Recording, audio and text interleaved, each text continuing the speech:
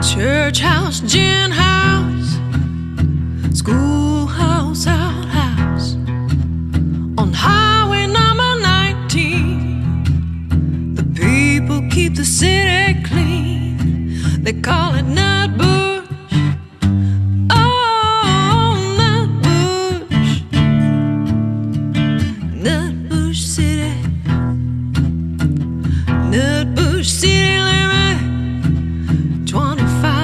25 the speed limit. Motorcycle not allowed in it. Go to store on Friday.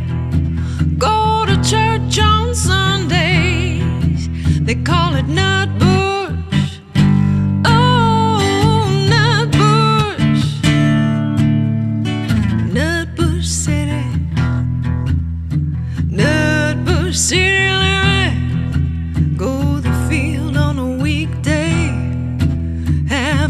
Picnic on Labor Day. Go to town on Saturday. Go to church every Sunday in bush. Oh, Nutbush. Nutbush City. Nutbush City limit. No whiskey for sale. You get caught, no bail. Salt pork and molasses is all you get in jail in that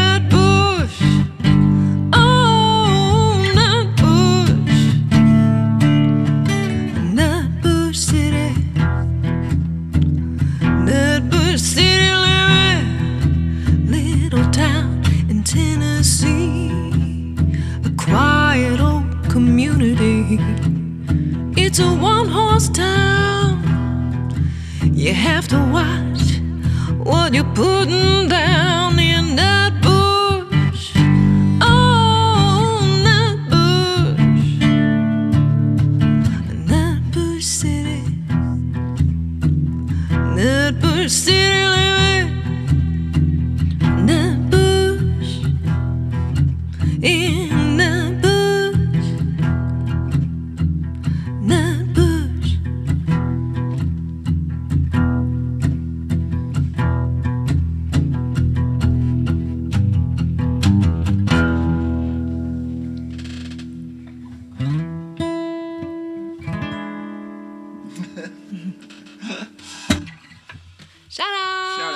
Thank you, friends, so much for joining us for another Sugar Lime Blue's Sunday shout out. This Sunday shout out is in honor of the passing of Tina Turner. So, Tina Turner. another great leaves this corporeal form, Yes. and we appreciate all that she added to our musical past. So, Yes. Tina and all your fans, hope you enjoyed this. We'll see everybody next week with another Sugar Lime Blue's Sunday shout out. Please like, share, subscribe, leave a comment. We'll see you next week.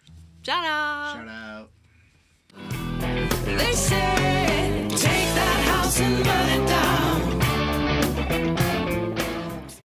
So, Tina Turner. Tina Turner. Yeah, um, interesting week that, of course, she passed this week. Yes, In the same week that we are playing at the Tina Turner Museum yes. in Brownsville, Tennessee. Yep.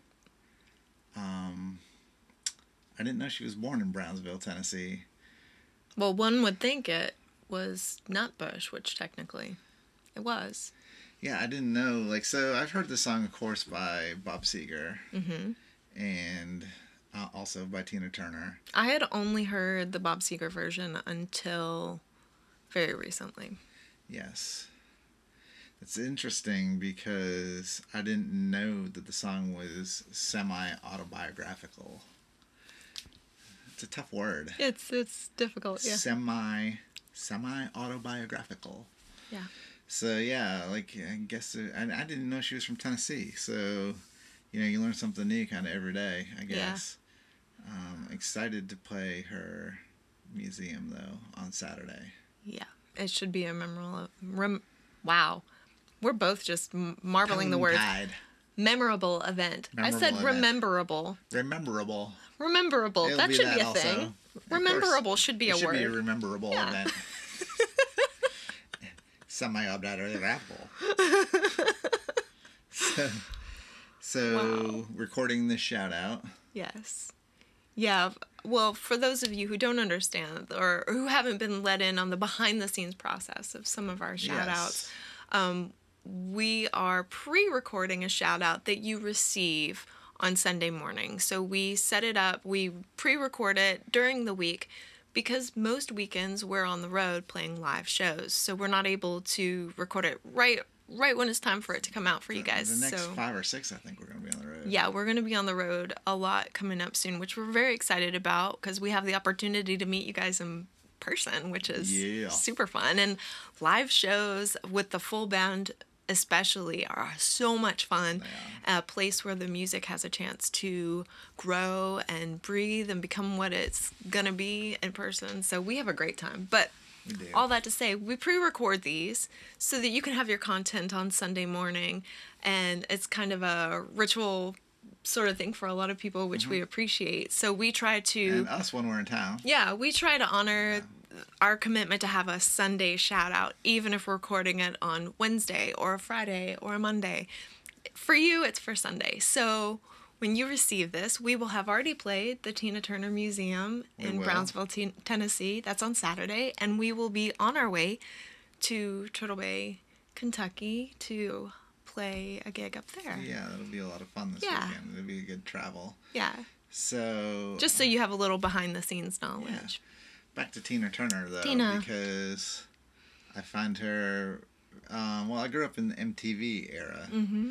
so very much like the visual thing, and um, I wasn't familiar with much of her work, especially with Ike. You know, in Yeah, the early days, earlier. or um, you know, I didn't know Tina Turner, and then I found out later. I think just recently you told me she didn't have her first number one hit till So she was 44. Right. So Yeah. that's like amazing. It's inspiring. It actually is. is. And a lot of her her previous life with Ike, um, like I'm still learning. I don't have uh, in-depth research. A lot of you probably know better than I, but she it was an abusive relationship with Ike. yeah, and we I knew But that. they had a yes. revue, so they were putting out lots of music and, and meeting lots of musicians and um, writing music and and they were very enmeshed in that way. And when she decided, she made the decision to leave.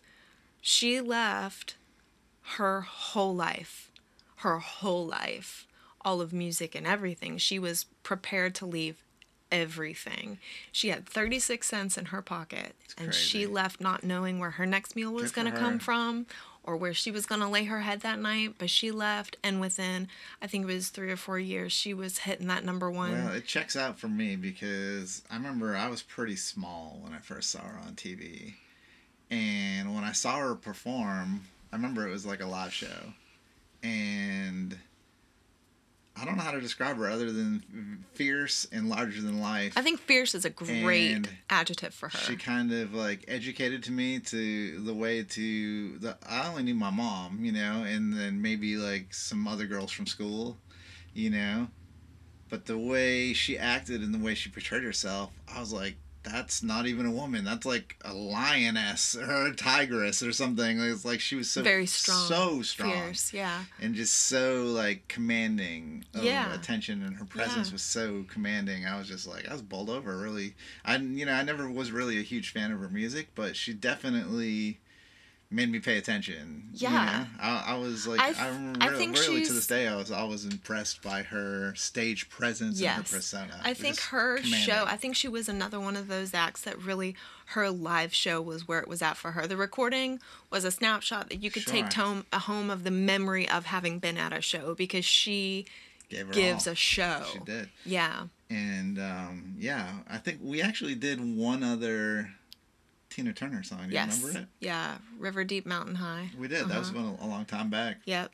and Yeah. uh, I think you know I went through that little phase where we really listened to that song a lot. And then We we are like, did, we gotta do a shout out of this song, Yeah. so we did, and that's Yeah. out there for you guys to check out if you have the time. You can go back through the back catalog and check out River Deep Mountain High and let us know what you think. But yeah, Did you know that she didn't like her voice to begin with? Really? Yeah, she thought it was deep and more masculine, and uh, she was in a little bit. Uh, I wouldn't say intimidated because that's the wrong word, but she Guarded. guarded. She didn't enjoy the sound of her own voice for a long time, and then she learned she could compete with the men's music world because she could command the same range that the men could. Nice. So she actually said that. Uh, was it Little Richie? I don't know. I, I listened to an interview that was really compelling of hers, but she was saying that some of the men in the community in the musical community were like, we we can't compete with Tina Turner because she can sing like that and she dances. and I tell you what, she does too. Like she does. does not quit moving. Uh, yeah, so. uh, there was a video of on YouTube of her like in her seventies, like yeah, still, still, crushing it. Yeah, I mean, it. Crushing it Yeah. in heels, yes, like my girl. yeah, Yeah, so I have a lot of respect for her, like coming up and and going through what she did and making hard decisions for her life, and then persevering coming and out better for it. yeah, and also uh, one of I, I listened to a couple of interviews this this last week, and one of the ones was I think it was about six years ago. She was living in Switzerland with her husband, and uh, she had retired and said that she was done. That she really appreciated her time in the music industry, and like if people wanted to see her, they'd go look at her videos because she's Yeah. like she's retired. So Right. a lot of funny. respect there.